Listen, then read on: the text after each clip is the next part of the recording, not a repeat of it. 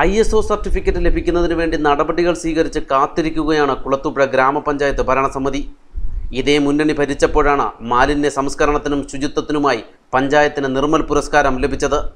എന്നാൽ മാലിന്യ നീക്കത്തിനും ശുചിത്വത്തിനും നിർമ്മൽ പുരസ്കാരം ലഭിച്ച കുളത്തുപുഴ ഗ്രാമപഞ്ചായത്തിന്റെ ഹൃദയഭാഗം തന്നെ ഇപ്പോൾ മാലിന്യ നിക്ഷേപങ്ങളുടെ കേന്ദ്രമായി മാറിയിരിക്കുന്നു. പഞ്ചായത്ത് ഓഫീസിന് മീറ്ററുകൾ മാത്രം ദൂരത്തിൽ പഞ്ചായത്തിന്റെ ഹൃദയഭാഗത്ത് തന്നെ രാത്രിയിലും പകലുമായി മാലിന്യം തള്ളുമ്പോൾ കണ്ട ഭാവം പഞ്ചായത്തിനില്ല. ആർക്കും എവിടെ നിന്നും മാലിന്യം ഇവിടെ നിക്ഷേപിക്കാം? കാണേണ്ടവരെ കാര്യമായി ഒന്ന് കാണണമെന്ന് മാത്രം. ആദ്യകാലങ്ങളിൽ ഇവിടെ വ്യാപാരികൾ മാത്രമാണ് മാലിന്യം നിക്ഷേപിച്ചിരുന്നതെങ്കിൽ ഇപ്പോൾ കുളത്തൂപ്പുഴ ടൗണിൽ പ്രവർത്തിക്കുന്ന ചില ഫ്ളാറ്റുകൾ വീടുകൾ എന്നിവിടങ്ങളിൽ നിന്നുള്ളതും ആശുപത്രി മാലിന്യവും ഇവിടെ വൻതോതിൽ തള്ളുന്നുണ്ട്. മാലിന്യ നിക്ഷേപത്തിന്റെ ദൃശ്യങ്ങൾ സഹിതം തെളിവ് നൽകിയിട്ടും പഞ്ചായത്ത് ഇതിനെതിരെ ഒരക്ഷരം മിണ്ടുകയോ നടപടി സ്വീകരിക്കുകയോ ചെയ്തിട്ടില്ല. ഇത് വെളിവാക്കുന്നത് പഞ്ചായത്തിലെ ചിലരുടെ ഒത്താശ ഇവിടെ മാലിന്യം നിക്ഷേപിക്കുന്നവർക്കുണ്ട് എന്നത് തന്നെയാണ്.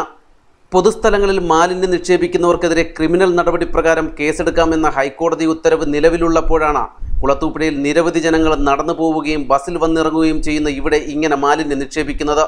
ഇവിടെയുള്ള പോസ്റ്റിന്റെ ചുവട്ടിൽ ഇട്ടു തുടങ്ങിയ മാലിന്യം ഇപ്പോൾ പാതയുടെ നല്ലൊരു വശം കീഴടക്കിയിരിക്കുന്നു. മഴ കൂടി പെയ്തു തുടങ്ങിയതോടെ മാലിന്യം ഒഴുകി തുടങ്ങി. എന്തിനും ഏതിനും സമരം പ്രഖ്യാപിക്കുന്ന കുളത്തൂപ്പുഴയിലെ യുവജന സംഘടനാ നേതാക്കളും അണികളും ഇതുകൂടി കാണണം.